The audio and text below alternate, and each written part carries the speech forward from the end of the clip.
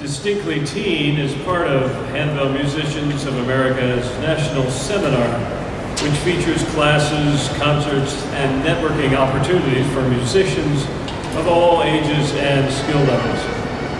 This ensemble includes fine-spirited young musicians from around the U.S. and Canada who came together for the first time on Thursday at the Hyatt Regency just down the street.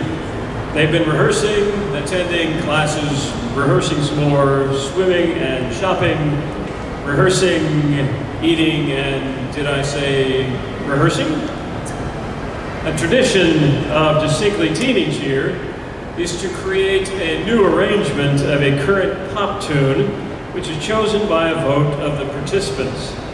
This year's winning piece is Sia's Cheap Thrills and is arranged by Nick Hanson, teacher of handbells at the Distinguished Potomac School in McLean, Virginia, a suburb of Washington, D.C. And part of the handbell organization's mission is to develop aspiring young musicians and conductors. And to this end, we include a student conductor program with Distinctly Teen. This year, one of Nick's students a senior and distinctly teen veteran, Elise Flick, will take the baton for this piece.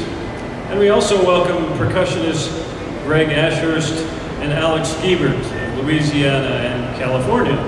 So join me in welcoming Elise to the podium as she leads the ensemble's performance.